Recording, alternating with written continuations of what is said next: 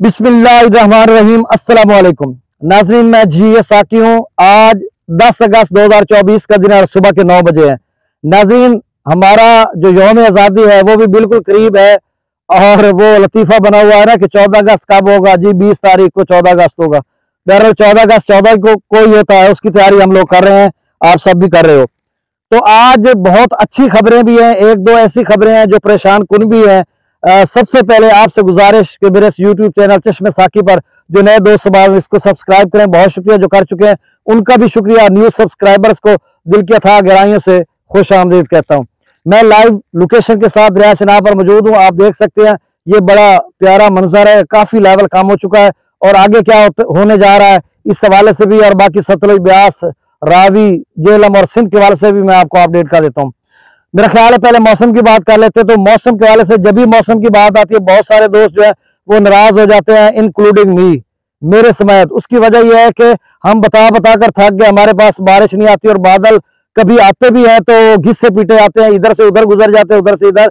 और ऐसे न मतलब एक सिलसिला जो डेवलपमेंट सीधी आ रही है, वो एकदम से कट लगाएगी पत्नी। हमने गुनाह कौन सा किया? अल्लाह के फजल करम से हम कोशिश करते हैं कि अल्लाह से अस्तगफार, माफ़ी मांगे। बहरहाल, कभी आ गई तो फिर हम कहते फिरेंगे, जल तू जलाल, आई बला टाल। तो इस तरह की बारिशें जहाँ पे ज़्यादा हो रही हैं, वो तंग भी हैं और जहाँ पे नहीं हो रही, वो परेशान है। भाई, ये सारा आज 10 अगस्त से 13 14 या 15 अगस्त तक पाकिस्तान भर में मुख्त इलाकों में बारिश की पेश गोई की जा रही है। अर्बन फ्लडिंग सिंध में हो सकती है, जनूबी वस्ती पंजाब, अपर पंजाब के मुख्तु इलाकों में, बलोचिस्तान के मुख्तु इलाकों में, वहाँ पे फ्लैश फ्लडिंग का भी उन्होंने कहा है कि के पी के में आज़ाद कश्मीर, गिलगित बल्तिस्तान हिमाचल प्रदेश, पंजाब भारतीय हरियाणा और बहुत सारी रियासतें हैं। जम्मू, कश्मीर, आज़ाद कश्मीर, सारे इलाकों में। अब किन किन इलाकों में आएगी, ये अल्लाह बेहतर जानता है। जो उन्होंने बताया, पाकिस्तान मेट्रोलॉजिकल डिपार्टमेंट और इंडियन मेट्रोलॉजिकल डिपार्टमेंट ने, वो मैंने बता दिया। अब मेट्रोलॉजिकल सिचुएशन मैंने आपको बता दी। अब हेड्रोलॉजिकल सिचुएशन की तरफ़ आते हैं कि दरियाओं की क्या सूरत हाल बनेगी। तो सबसे पहले जो एक खबर है, जो हिंदुस्तान टाइम्स की, उन्होंने वो पोस्ट की है खबर। आज 10 अगस्त 2024 को सुबह छह बजकर अट्ठाईस मिनट पर हिंदुस्तान टाइम्स। आप अगर लिखना चाहेंगे कि latest update of latest update of weather of Himachal Pradesh in Himachal Pradesh आप लिख देंगे नीचे हिंदुस्तान टाइम्स आगे थोड़ा सा लिख लेंगे तो भी वो स्टोरी निकल आएगी। अच्छा उस स्टोरी में ये लिखा है कि हिमाचल प्रदेश और चाँद दीगर रियासतों जिनमें हिमाचल प्रदेश, उत्तराखंड, उत्तर प्रदेश मध्य प्रदेश, मणिपुर, निजामपुर, नागालैंड, त्रिपुरा वगैरह। इन रियासतों में ऑरेंज अलर्ट उन्होंने बताया और वहाँ पे लिखा उन्होंने very heavy to extremely heavy rainfall यानी इंतहाई गैर मामूली बारिश क्लाउड ब्लास्ट हो सकता है, उसी तरह की सूरत जिस तरह से गुजशत हफ़्ते देखने को मिली थी। अब उसमें उन्होंने जो इलाके लिखे हैं असला लिखे हैं, मंडी, बिलासपुर, सोलन श्रीमोर शिमला और कुल्लू। इन इलाकों में गैर मामूली तूफानी बारिश है फ्लैश फ्लडिंग हो सकती है, ये भी उन्होंने लिखा। और आज जो है, हरियाणा, चंडीगढ़, पंजाब, जम्मू कश्मीर में मोतदिल बारिश है। अच्छा ये बारिशों का सिलसिला उन्होंने लिखा, दस अगस्त से बारह तक गैर मामूली है और फिर पंद्रह तक जो है वो ऑरेंज अलर्ट से नीचे येलो अलर्ट पे आ जाएगा। तो इससे क्या सूरत हाल बनेगी? कोई बड़ा सैलाब? तो देखे कुछ कहना कबल वक्त रात को चाहे मैंने कहा था कि दावा किया था, अल्लाह के फजल करम से अब सतलुज में सैलाब नहीं आएँगे। तो उसका भाखड़ा और पोंग डैम का मैं लेवल बता देता हूँ। जब लेवल बताऊँगा तो आप भी कहेंगे कि मुश्किल है, आप सैलाब नहीं आएँगे। लेकिन बारिश जिस तरह से बता रहे एकदम से गुजशत साल की तरफ़ आ गए तो फिर कुछ कहना गलत है कि हम कहेंगे नहीं आएगा तो वो आ जाएगा तो फिर क्या होगा?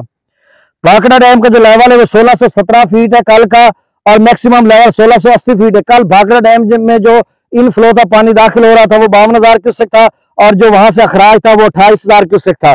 अच्छा गुजशत साल 8 अगस्त को जो भाखड़ा डैम है, वो सोलह फीट तक भर चुका था।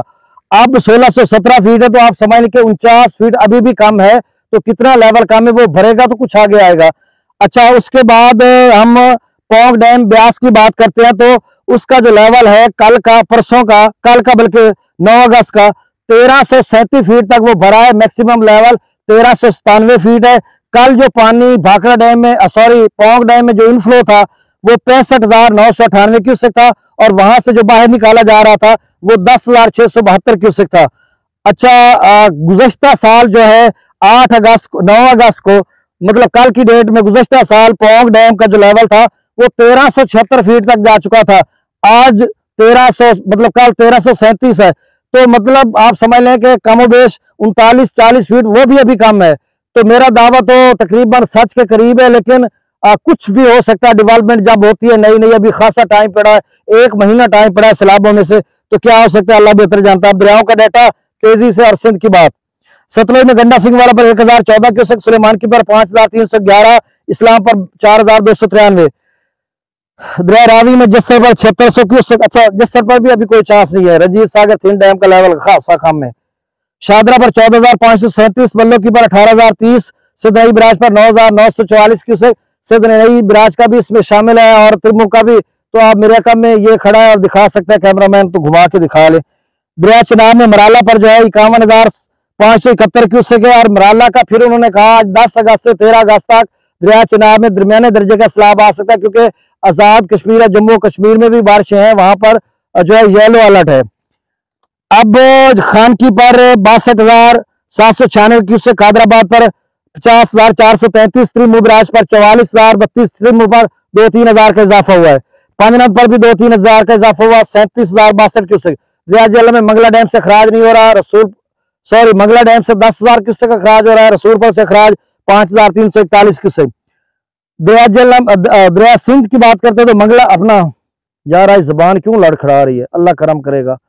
तरबेला डैम का जो लेवल है वो पंद्रह फीट है, मैक्सिमम लेवल पंद्रह सौ पचास फीट है। बयालीस फीट आज हो जाएगा, वैसे पंद्रह सौ चालीस फीट है।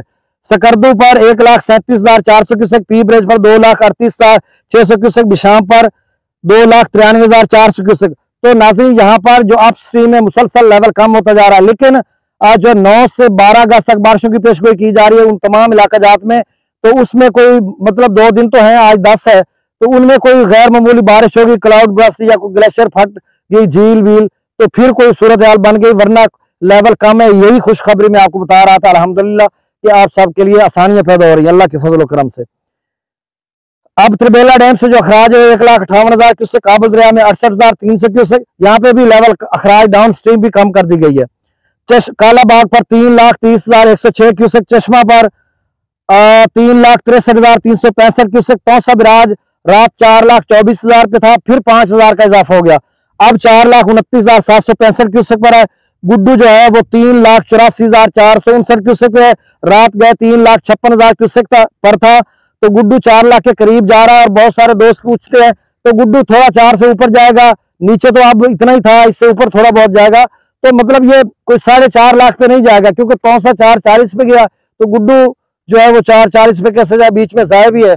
अलबत्ता ये है कि कुछ जो है कोई सुलेमान रेंज का पानी इसमें शामिल हुआ था और पंजाब के दरियाओं का भी तो गुड्डू कुछ जा सकता है चार से ऊपर। और छह सात वाली वो कोई बात नहीं है, वो तब बात होगी, अभी तो पीछे लेवल भी कम हो रहा है, अगले तीन चार रोज में गुड्डू का लेवल भी कम होना शुरू हो जाएगा, क्योंकि चश्मा पर आप कम हो गया, फिर तौसा पर कम होना शुरू हो जाएगा, फिर आगे गुड्डू पर भी। तो अब गुड्डू सखर कोटरी तीनों मकाम पर पानी का लेवल ऊपर जाएगा, आइंदा चंद रोज तक और फिर यहाँ पे भी कम होना शुरू हो जाएगा। बारिशों का जो दो तीन रोज का स्पेल है, वो कोई बेपना इनफ्लो लेकर आ जाए तो कुछ कह नहीं सकते, वरना हालात बहुत बेहतरी की तरफ़ जा रहे हैं। अब गुड्डू पर तीन लाख चौरासी हज़ार है सक्कर पर दो लाख बयासी हज़ार आठ सौ अठासी क्यूसेक और कोटरी पर एक लाख पंद्रह हज़ार सात सौ तीन क्यूसेक आखिरी बात, कोटरी के कुछ दोस्त पूछ रहे थे कि कितना बनेगा। भाई, गुड्डू चार पे जाता है, सवा चार पे जाता है तो कोटरी जहर सी बात है, दो के करीब तो बनेगा, बहुत ज़्यादा सफ़र है। अपना गुड्डू से कोटरी का तो बीच में काफ़ी जाय भी होगा। बहुत शुक्रिया नाजरीन। अल्लाह हाफिज़।